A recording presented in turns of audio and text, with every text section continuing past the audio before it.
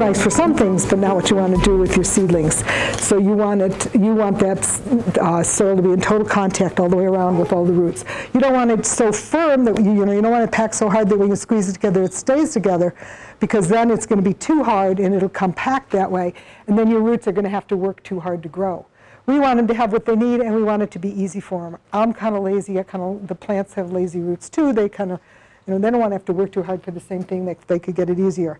Um, so the, um, the temperature is achieved in a number of ways. You have a refrigerator, you can put it on top of your refrigerator if you have small quantities. If you have, um, you, if you can put it behind your wood stove, if you can put a little something over the top of it to kind of hold heat in. Propagation mats are wonderful. Does anybody actually have a propagation mat here? You do? No, okay. Propagation mat is, now this is a secret, so don't tell anybody. But in the, when I start my plants in this time of year, we're still in the house. We'll break into the greenhouse next week when there's too many plants for my light bank that's in my basement. And in the old days, and not all of you are old enough to remember this, there was this phenomenon called water beds. And everybody had water beds, and then everybody moved and couldn't move their water bed into the new house because the floor wasn't strong enough, whatever. Waterbed heaters make fabulous propagation mats. But don't tell anybody because I want them and they're getting harder and harder to find. So um, you put those under your trays. We plant in a 1020, which is a lie. It's really an 11 by 22, but they call them 1020s. It's just like lumber. The tray that you see your plants, your pots in, when I take trays of pots to farmer's market, that's you know what we're carrying them in. Um, and you put your tray on top of your propagation mat, put your thermostatic wire underneath it to make sure you don't burn your house down, because that's kind of a nice thing too. And then, um, then you've got, you've got, uh, you can adjust the temperature for whatever the ideal needs of these particular plants are. You're not trying to heat a whole room space to 85 just to get your eggplant to germinate, you know, so that way you have more concentrated. The other thing, um, that's heat. And then we have light. Who's got light systems that they grow any plants under? You do? Okay. And what kind of lights do you use? Um, I have a variety. Some are T8s, some are the, the smaller intensity ones. Um, okay. Like six banks of them. Okay. What should we be using? I use a fluorescent glow, glow light. It's a fluorescent Grow light? tube light Yeah. thing. Works Isn't fine. like a full spectrum light? Does that work? I work? use a, um, uh, where they got a bank of bulbs that screw in, and then I just use those, uh, uh, fluorescent, uh, curly Q light bulbs. Okay. Well, I did a lot of experimenting. Uh, Regular, uh, regular, uh, forty-five watt bulbs too. Okay, just regular household. I bought the really expensive grow lights and the full spectrum lights and the bed and bathroom lights and the kitchen lights and the cool lights and the hot lights. I have bought every light there was out there. And my shop light fixtures with two bulbs in them, the 99 cent cheap fluorescent cool white bulbs were where I got my best results. I mean, I had a fortune tied up in light bulbs. And, well, I don't think they're 99 cents anymore, but probably the last time I bought them, they were. Cool whites, fluorescent ones, the ones you go and buy it for your shop. It's probably what's in these right now. The importance of light then is distance from your plants. You want it to be within four inches of the top of your plant, if you can do that. We put our lights on chains so we can move them up if we need to. Um, but they you really need 14 hours a day. And you want it to coincide with the light that we have, our natural light. You can extend it at both ends, but you don't want to have it be all night if it's going to be light out all day and there's going to be light seeping in the windows. You want them to have their natural day, night, day, night cycle. You just want them to have a little more day than Montana offers this time of year. Um, so we set them on a timer with 14 hours. And um, and I have to say, we're not under lights a super long time because I do have a drop dead gorgeous greenhouse. And uh, I use it. But this today, I don't want to be heating that greenhouse until I absolutely have to. So as long as I still have plants under my light bank, that's where they are, is on that rack of lights. And, um, and then when we do move into our greenhouse, we shut half of it off and just heat a portion of it until we need the whole thing. Um, Our greenhouse happens to be a north side earth berm greenhouse, so it's super moderated. It doesn't really freeze out, and it doesn't really get too hot in the summer. The, the soil makes a great berm.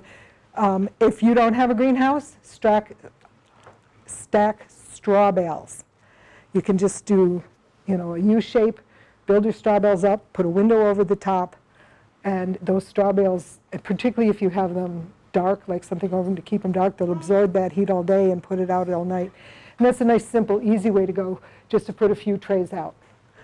Um, the other thing we talked about this morning, which I'm going to talk about now, is air. Air circulation is so important to good plant health. Storage health on your plants, storage health on your food, storage health on your seeds, and your plants while they're growing. Um, we achieve that through fans. Um, and it makes a wondrous difference in how your plants can grow. There's a, I'm going to grab a pot while I'm talking, but there's a, a problem called damping off fungus. Has anybody ever uh, encountered that? Damping off is, it's a fungal growth, and it happens if, right at your soil level. So when you fill a pot with soil, you don't want to fill it an inch down because you've got this whole wall of plastic blocking good air circulation. So if you can keep your soil level almost to the top, not quite, and when you fill your pots, you want to fill them to the top because they will condense a little bit. But if you can keep them almost to the top, you're going to get more air circulation. And damping off is when your stem rots right at soil level. And there's two, three, maybe, I don't know, quite a few things you can do about damping off. But the primary one is keeping good air moving around the plant so that fungus doesn't settle on top of your soil and at the base of your plant. You get good airflow. We need fresh air so the plants. They're not naturally growing inside a greenhouse with no air movement. They're naturally growing outside when the time is right. We're asking them to perform at a different time and in a different situation, so we have to provide what they want. Um, the other thing you can do about damping off, if you should see it start to develop, is you can feed it antifungals. And you're like, ooh, well, the best antifungal is chamomile tea. We water our plants with chamomile tea, and it does an amazing job. You want your soil level to, your- soil surface to dry out occasionally, but that's, that's a tough one because you want the moisture down below, but you want the surface to dry out. If you're working on a heat mat, you're going to be drying from the bottom up, not from the top down, so you got to watch that. Because you have to water pretty often to keep those roots damp at the bo- bottom of your pot or your tray. And, um, yes. Are you using the chamomile tea every time you water? Nope, only if I have a problem. Okay. Yeah, if I, s- or or a cold. Just like, sorry. Yeah, I know, I mean, it's like, if I, I sometimes drink it with the plants and then you know, take a nap with the plants too, and it's all good, yeah. Did you have a question? Oh, that's actually, same question. Okay, so we look at air, we look at soil level, we look at chamomile tea. Fennel is also a good antifungal, but chamomile is usually a little cheaper and easier to get than fennel year-round. Um, We move things around so that they're nearer or closer to a fan as needs. Certain plants have more of a propensity to damping off than others. Um, Using clean equipment so you're not carrying over fungus from previous years. If you're, if you feel like you have a lot of it, you can always, you know, if you're going to reuse your pots, wash them, and I hate to say this, maybe use a little um, uh, oxygen-based uh, bleach. Not a, I wouldn't use a, well, you could use a, a regular chlorine bleach, but you can also use an oxygen-based bleach to clean your pots and things like that. Um, the other thing that uh, controls fungus is fungus gnats, which um, are kind of like fruit flies. This is what they look like to you, but they're, they're similar but different. And, and if you get fungus, you're probably going to have fungus gnats. Now, you don't really want a lot of fungus gnats because if there's no fungus to eat, they'll eat something else. So it's all about balance. But a little bit of fungus gnats isn't a bad thing because they'll keep your growing area clean, having a little bit in there because that's, that's their dining, that's their dinner is fungus gnats. Yeah, that's what starts them. If you see a, a ton of them, then you know you've probably got a ton of fungus that you need to deal with too. But um, anyways, um, you don't want to start your plants too early. We're going to start some today that, that can get, you know, started soon. Because if you start them too early, no matter how good your light system is, if you're under lights, you're going to get leggy. If you put them in a window, even if it's a south window, it's not enough light. The glass blocks a little bit, but you're just not getting direct, it's just angled light. You need top light down on them too, not just angled light coming in. So you're gonna find you have leggy plants. If your plants start getting leggy and you don't wanna lose your plants, you can always bump them up into a bigger pot, but most of them you should be able to bury a little bit deeper to strengthen them too. Um, and, and just, you know, if, if you've got your tomatoes ready and there's still three feet of snow on the ground and you're going to be putting them outside, you want to save them. Well, you never know. We do have a fair bit this year. So those, those things are all um, uh, adaptable a little bit, but if you can time your planting um, to match what you expect, you know, tomatoes can go out at six weeks old. They don't have to be in the ground for 12 weeks. Um, if you're going to have them in the ground for 12 weeks, you might want to put them in big pots or hanging pots or things like that. But, um, uh, but you could also just do them later. We stagger our tomato planting for the greenhouse. We have people who like to start early in their greenhouses. We have customers who want to direct, direct um, transplant right into the soil later. So we usually do three to four plantings a year of tomatoes, just smaller plantings to accommodate all of that, because we don't like our plants to get too big. Another plant you don't want to get too big is your brassicas, um, cabbage, cauliflower, broccoli. They do not like to be transplanted, particularly cauliflower, when they're very old. They want to be transplanted when they're young. You could transplant them out at three weeks. You can transplant them out up to six weeks. You could take some of them up to eight weeks. Cauliflower, no. Maxes out at six weeks as to how old you want it to be when you put it out there. Just resents the transplanting by then. It wants its space. Um, again, if you have a pot like this that's got a six pack in it of broccoli and you can't get out to put it in, you can always take each one and put it into its own pot to kind of hold over until it's ready to go out into the field. So um, let's see. Some, sometimes, um, particularly, is there anybody here that starts or wants to start onions, those kind of things, alliums? Okay. They get sturdier if you actually give them a haircut which is really fun to do because they look really good when they're all like at the same level and you, you're giving them a little clip. And then when you do it, you grab those tops. Yes, and they're delicious on your baked potatoes that you still have in the root cellar from last year with the butter you churned from your cow. Anyways, we don't have to go there. But, um, okay, from your neighbor's cow? So that helps make them sturdy. They will be a much stronger, more upright, easier plant to transplant, and they will and they will really react better to your field growing if you keep them trimmed. We trimmed about three inches, and usually they get trimmed two at the absolute most three times before they go out in the field. Um, Does that include garlic too? no, onion? onions, leeks, shall, uh, seed shallots, not bulb shallots, but seed shallots. Um, yeah. Um, if they get too tall, they're putting all this energy into this top growth that's actually dying. You know, you'll notice you get the shrivelies on the end there. Um, so, and uh, and we, the um, we do our onions from seed for a number of reasons. A lot of people buy onion sets, but onion sets are going to, again, they're a second year plant, so they're going to have more of a propensity to want to go to seed and not make a nice onion. Uh, also, you're very limited on what varieties are available of onion sets, and they're expensive. So we do our, um, all of our alliums from seed, both in the field and what we sell through the greenhouse. Um, I just find that it's a, it's a better system. Um, Seeds, seed depth. Okay, we plant seeds twice as deep as the size of the seed. Now that works great when you're talking about, for instance, an onion seed or even a kale or broccoli seed that's totally round and every dimension is the same. But when you get to um, a squash seed, you've got your long dimension, you're really skinny, and then your width. So we use the longest for the most part. Um, the bigger the seed, obviously, then the deeper it's going to go. I take a little exception with peas, although we don't start them inside. I go really deep with peas. I go two inches deep with peas. They don't like to dry out along the way, and they like it cool, so that way they have cool feet because it's the top inch or so of soil that's going to get really hot. But that's not really part of today. That's just an aside. Um, record keeping is really important. If you're going to be doing this year after year, I have a woman that comes to the greenhouse every year and she's got her notebook and she's like, I want this tomato plant because this is what she's got notes for every variety she grew and everything she's done. Thank you very much. Your maps are very important. They give you your records.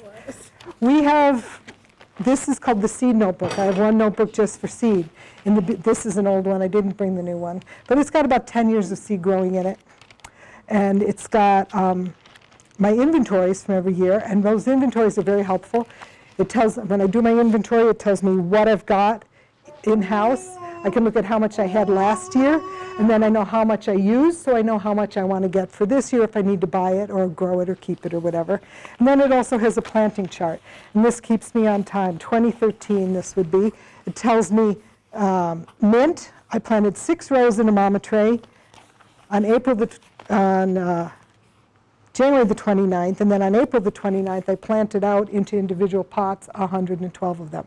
So what that means, and I know that might be gobbledygook, what's a mama tray? Mama trays are a 1020 that's solid, it doesn't have that mesh bottom on it, and we double them up and we fill them with soil to the top, and then we cut rows in them anywhere from 10 to 15 rows, depending on what it is, and we sprinkle seeds in the rows. And then, so one row in a mama tray, if there's six rows of mint, mint seed is minuscule. Like, take a poppy seed, I mean, it would just womp out your mint seed. It's, mint seed's so tiny. So um, you just sprinkle along in a row, and from those six rows, I got 112 that I transplanted, each into their own pot, a couple months later. It's a slow-growing plant. We do it on January 29th because the small seeds grow slow. Oh, Wait a minute, we already talked about that, so you guys knew that. And the transplant, okay. Oh, yeah, yeah. I would say, you know, we transplant like herbs into what we call an herb pot. This is an 1801, an herb pot which would be considered a 2801. Um, And that tells you how many pots fit in a tray. But, we- so it's a smaller round pot, we do, and um, of those 28 in a tray, I'd say two of them might not make it in each tray because they got overwatered when they got transplanted or whatever. Um, So the pots, this is an 1801, 18 of them fit in your tray. It's an 01 because it's all one compartment. If it's got the lines in the middle, that would be an 1804 if it was split up into four parts, or an 1802 if it's cut in half. That's what those numbers mean. It's this secret language thing, you have to do a handshake and kick somebody or something, I don't know. But, um, So the, uh, the mama tray then only holds for so long. Different plants stay in it, you know, like tomatoes, we start in a mama tray. We don't start in each pot. Way too much space, way too many seed wasted. If you want to make sure you have a plant and you know you've got a 70% percentage on the um, germination rate, then you're going to wind up putting two in, and then you're going to have two in here, and one's going to have to go. So we go for a mama tray and then put each plant in its own pot. So that brings me, I'm talking really fast. Am I doing okay? Can you guys hear? Yeah. Okay. Um, And please do ask questions if you have them. Don't wait for me. Are- I know there's some seeds that are light sensitive and you don't want to put dirt on. Yes. Are those, I know flowers, I can't think of any vegetables. There are very few vegetables that I can think of that would be like that, actually. Trying to think what I did. Herbs, The herbs, yes. The super small seeded things tend to get lost in the soil. Um, Different seeds have different needs as far as light goes, and again, the good catalogs will tell you. um, The, uh, I mean, like celosia and some of those like light. Um, But for the most part, um, some seeds like to get beat up. They like to get vernalized, which means lavender, rosemary, parsley. We put those in the freezer for a few weeks. Vernalization, it's mimicking what would happen if they were out in nature. Um, It's going to be really cold, and then it's going to get warm again, and the seed, that takes the seed out of dormancy, and it increases your germination rate and your vigor. Some seeds like to get scarified. Um, we scarify borage, we scarify morning glories, um, we scarify things that are super hard and thick coated. Scarification, there's a couple ways to accomplish it. You can take two pieces of um, sandpaper and do it this way. It's thinning or cracking the coat so moisture can get into it because they have a very thick coat, like a bitterroot. I think takes five years in soil to germinate or something like that. This is why we never see bitter roots at the market, right? Because we'd have to store them all winter long. But it, it kind of, it, think of animal hooves stepping on that seed, cracking it open a little bit, making it so the moisture can get into them. And so we can scarify with sandpaper, we can scarify with Um, I, I, my morning glories, I take a serrated knife and I take each seed and I run it over twice with the serrated knife. And I get 100% germination from a morning glory that might be marked at 60% on the package. Look at your seed packs when you buy seeds. Good seed packs will have germination rates on them, not all do. Um, but seed, so seed is the most important, that's why we're all here today, because we're freeing seeds. And seed is the most important thing you have to look at. If you don't have good seed, you can do all the best practices in the world, and it's not going to work. You've got to have good seed. Um, a good seed packet will, like I started to say, tell you the germination rate. It'll say 70%. It'll tell you when that was tested.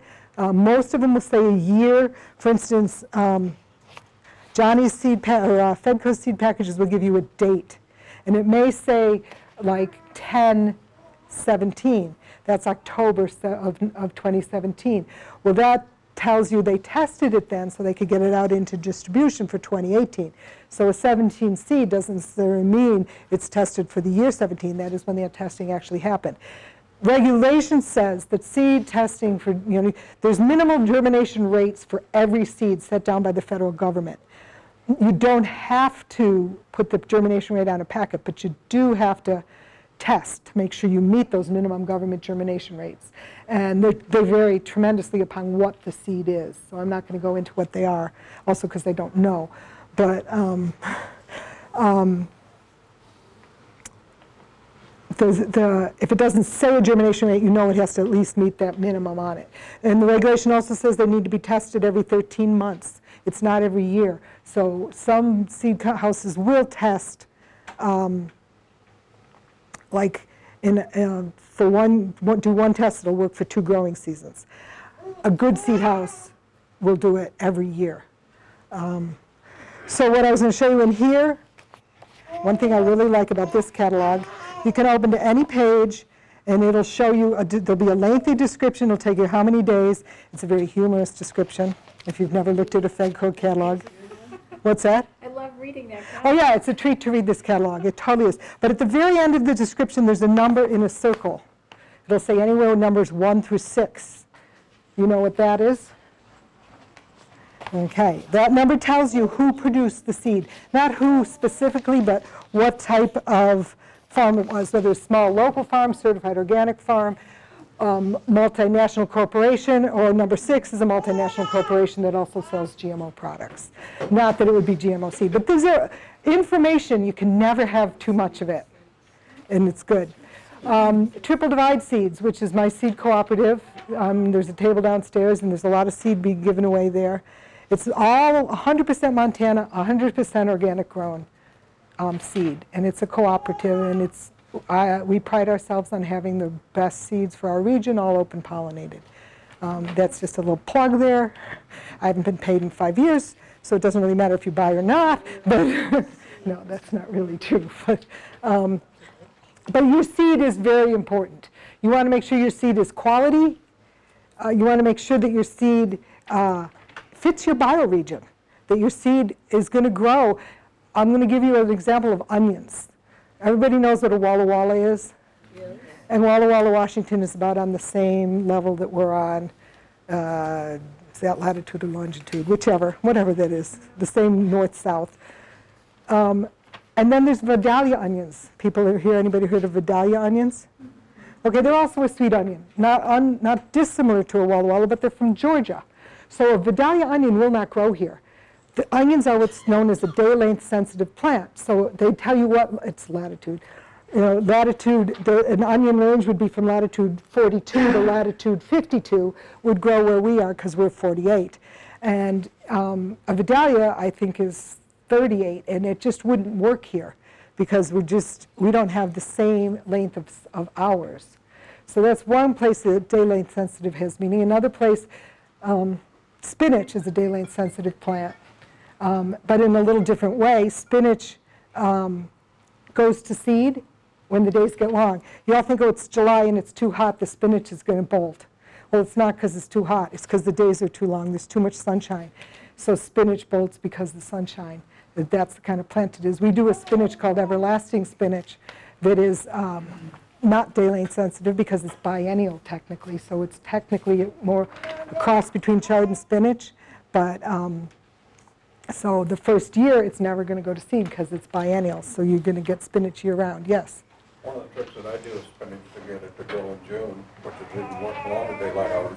They'll put it, they'll plant it in the shade of another plant. Mm-hmm. And that really reduces my whole thing. It does. It really likes that. That's a good idea. Yeah. Um, So the other thing you can do with things that want- you wind up starting early is trim them. Uh, But some things you want to get bushy anyways. Basil, uh, marigolds, chickabiddies. There's certain plants that you'd rather they bush out instead of just getting taller and taller. So if you keep them pinched back in your greenhouse, you always want to, you know, if this is your plant, right, and you've got your two little side leaves and your main stem, you want to pinch this off and then these can grow and make it get bushier. And that's another way to, you know, if you get things going early and you can't quite get in the field, a lot of things can be trimmed. I wouldn't trim corn, I think you'll lose it, but we do transplant corn. Again, corn is a, needs a very specific heat to germinate. Our soil is cold in the fall, so we don't, or in the spring, so we don't put our corn out directly. We can only grow corn from transplant. We used to do it directly, but it was such a gamble. So we do it, um, we transplant our corn, but we want to set it out at two and a half, three and a half weeks, somewhere in that time frame before its roots get too big. So some things, and then we can, you know, provide the temperature it needs, which is what corn's biggest thing is, is to get the right temperature. The other thing you can do with seeds to help them along, particularly your larger seeds, it's hard with small seeds, is you pre-soak.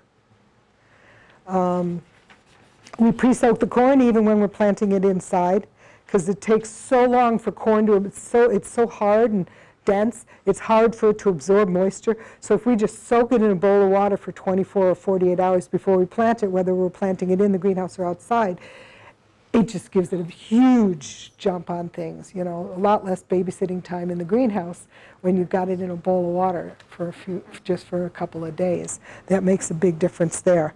Um, uh, we talked about this, and I'm going to repeat it, though.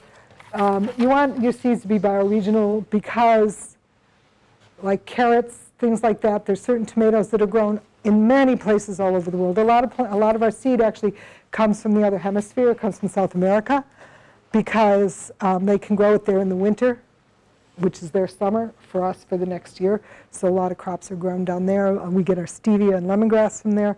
Those are seeds we, we haven't been saving up here. Um, but just because, the- you know, they have the opposite season from us. But tho- those are super specialty crops. But if you're looking at your regular, let's put away the food crop, you want seeds that are adapted to here. You don't want a carrot seed, even if it's the same carrot variety, or tomato seed, even if it's the same tomato variety that was grown in a Florida area for, you know, the last 10 years, and they've been selecting seed that works well for that area. You want seed that works well for our area. Our area is super specific on what it needs. Okay, any questions at this point? Do you inoculate? Some things. We inoculate, the question was, do we inoculate? Inoculation um, is a bacteria, a rhizobial bacteria, that um, we use on peas and beans. That's the only thing I inoculate. And um, we do it at planting. If you don't do it right at planting, you do it in the furrow after you've planted. But we use less inoculant if we, we soak our pea and bean seed before we plant it because again, like I said, it helps it germinate faster, less time for the birds to pick it out of the ground or whatever. And um, so we soak our seed, we drain it, and then we sprinkle inoculant on, and then we plant our seed and cover it up. Um, One thing with inoculant, it's fabulous. It's a natural occurring soil bacteria. Um, And uh, your soil should already have it if you've ever inoculated. They say you don't need it. It's cheap insurance if you're not sure if that spot had it or not. I just do it routinely. But beware that some bacterias are genetically modified. Will it say so on? No, it's not required to say so. It's only required, there's no requiring on labeling on GMOs. We all know that. So you have to know your source. Look in the catalog you get it from. You know, read, see where you're ordering it from, and just, they will tell you if it's not. If it is, it probably won't say. What's it protecting them from? Rhizobial bacteria aids in the set nodules on leguminous plants. So um, it helps them take up nitrogen, to set nitrogen and to take nutrients up from the soil. You know, like when you pull up the pea plant and there's all those little nodules on the roots, it helps those form. is basically what its purpose is. Yeah, so, um, um, let's see. All right, uh, timing. You talked about starting your early stuff, but there's some things that like it cold. So there's some things you want to get out when it's cold. Can anybody tell me? Spinach. Yeah. Likes it because the short days, that's not the temperature so much. Peas like it cold. Chaos. Kale will take it cold. It'll do, go either way, yep. Um, peas and fava beans. Fava beans are different from your pole beans or your bush beans, your green beans and your other drying beans. Fava beans, they want, the minute you can get in the soil, they want to be in the ground. Um, they, so they're great. They're a great bean for us to grow in this area. They do well in our region. They're great for the soil. And, um, and, they're, and they're very pretty. They're great at attracting beneficials. They, the flowers look like they're going to be a black-eyed pea, not a fava bean. They're white with black centers. But um, they're a totally underserved plant that we adore. We actually have five varieties of favas on the farm. But because they cross-pollinate, we don't plant them all the same year. But, um, uh, you know, those are things that like to go out when it's cold. So as soon as you can, things that like to go out when it's cold that I would start early are your alliums. Everything else we pretty much direct plant that likes to be cold. The only thing we transplant is the onions. You will notice that onions in catalogs say anywhere between 95 and 130 days. And you got to watch those numbers when you're buying seeds.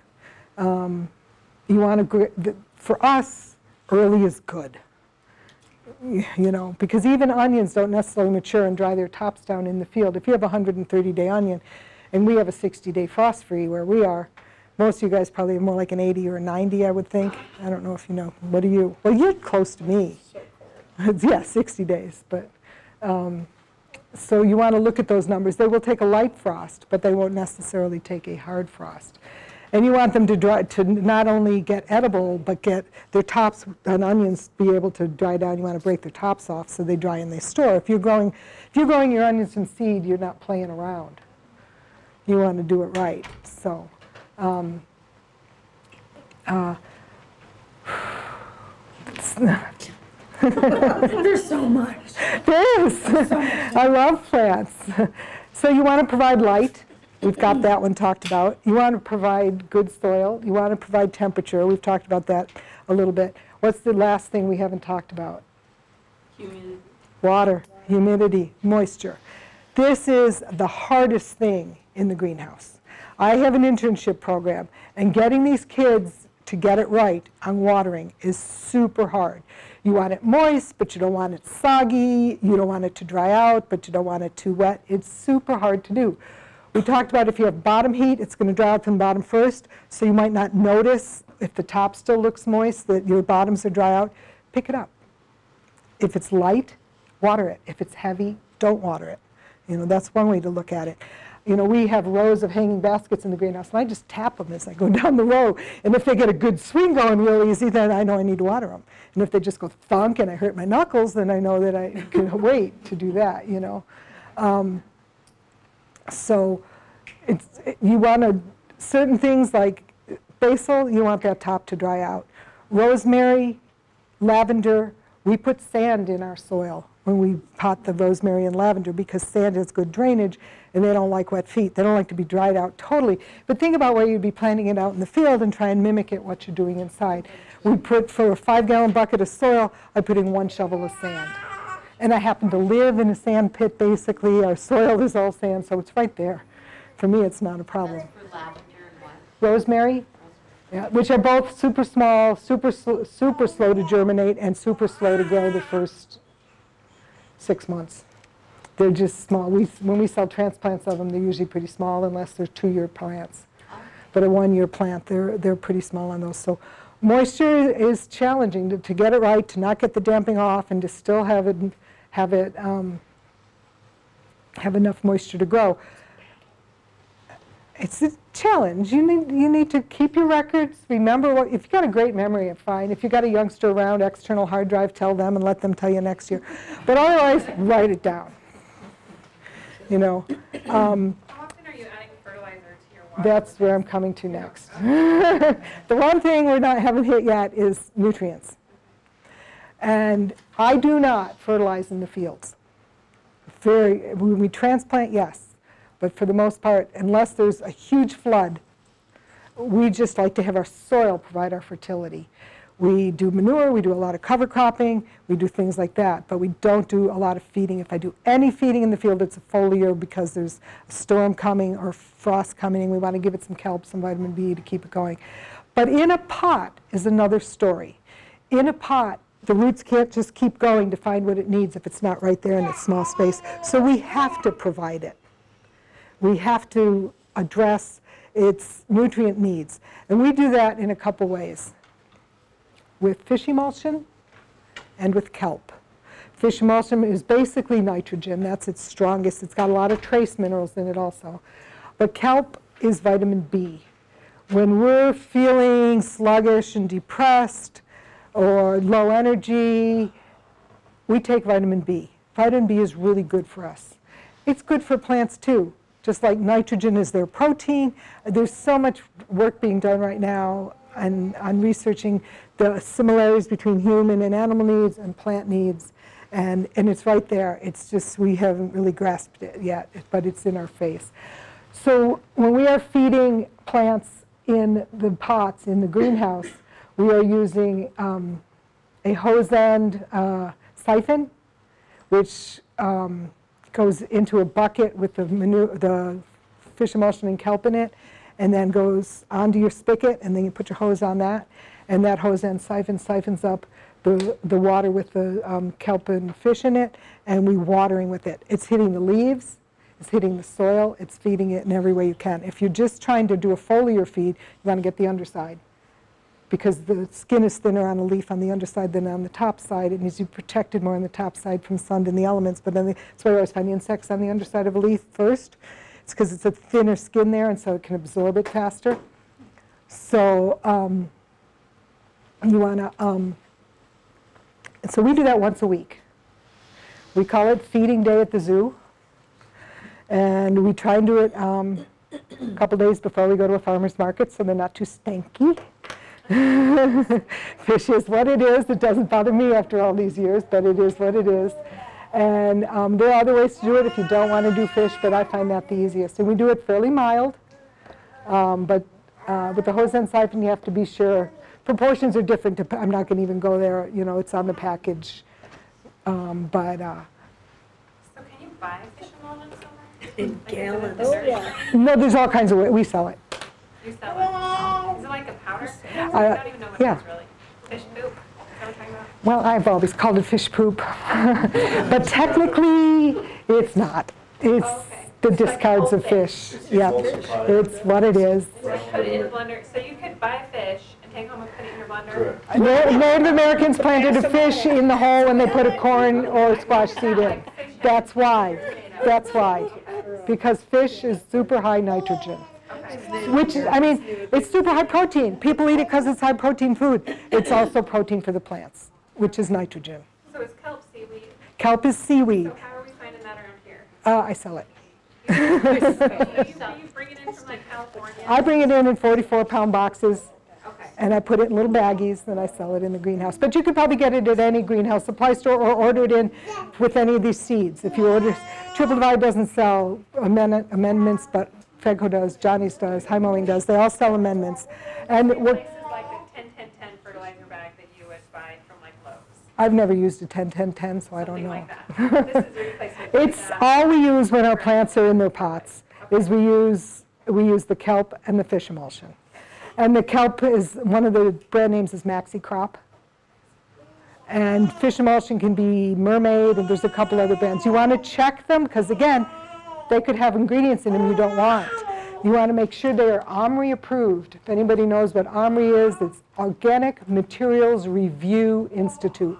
They, they approve inputs for organic um, farming. Or it could be certified organic by CCOF or Oregon Tilth or Montana Department of Ag or Washington Department of Ag. Those are some of the four main ones for certifying products.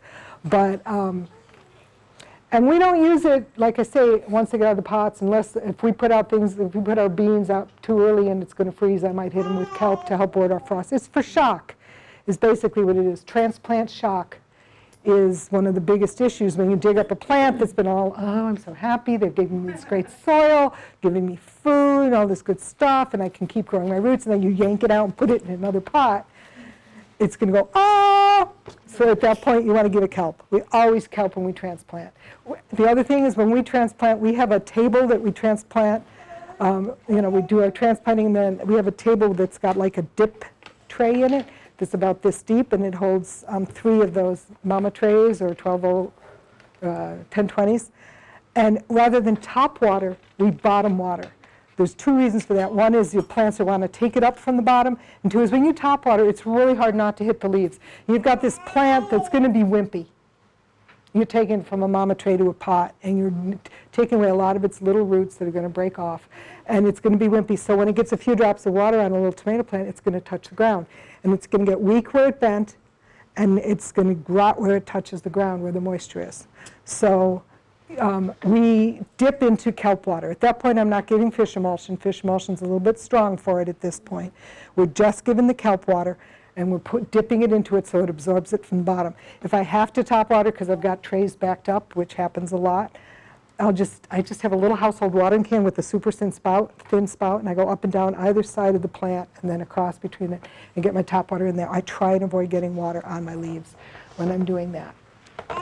So You let them soak in. till they're very heavy. Okay. And then um, our rack is set up so that we take out of the, out of the dip tray and we put it up here on some uh, roofing. and It's at a slight angle, so all the water goes back into the drip tray, so I'm not just making a mess. And then the other thing is, it's, again, it's wimpy. I'm going to put it on a shelf in the shade for a couple days, or under my benches in the greenhouse. But we have, under our rack, we have a lot of shelves that we put them on that um, you know, gives, you don't want it too cold, you know, you have to kind of watch what's going on there. It's, it's, you know, watch it, because if it's not drying out a little bit, it's staying too soggy and you're going to damp off. Oh yeah, damp off.